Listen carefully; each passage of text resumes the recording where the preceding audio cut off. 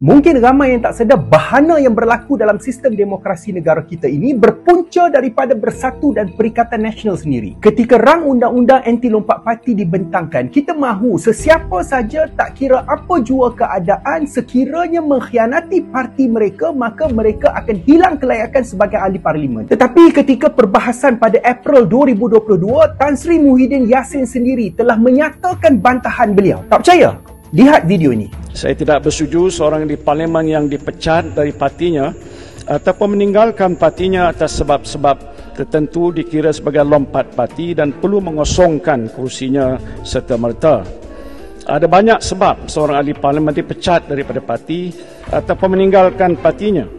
Ada yang dipecat kerana melanggar disiplin parti atau kerana dengan izin cross the floor atau kerana menyatakan sesuatu yang hak tetapi tidak disenangi oleh pemimpin parti lalu dipecat dan dari partinya.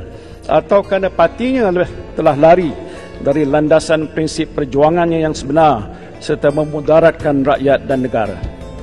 Keempat-empat situasi ini adalah berbeza tuan Ibu Kalau sekiranya undang-undang anti lompat parti terpakai dalam semua keadaan tanpa pengecualian, maka undang-undang yang diperkenalkan ini adalah zalim maka pengecualian dan perlindungan tertentu mestilah diberikan pada mana-mana ahli parlimen yang akan terkesan dengan undang-undang ini nanti. Disebabkan bantahan inilah, maka rang undang-undang ini menjadi lompong dan lemah. Kelemahan yang sengaja diwujudkan Muhyiddin ini akhirnya memakan diri mereka sendiri. Inilah yang terjadi dalam sistem kita sekarang. Keputusan Speaker Dewan Rakyat ini adalah selari dengan apa yang dituntut oleh Muhyiddin. Jadi, kenapa Bersatu dan Perikatan Nasional nak melalak?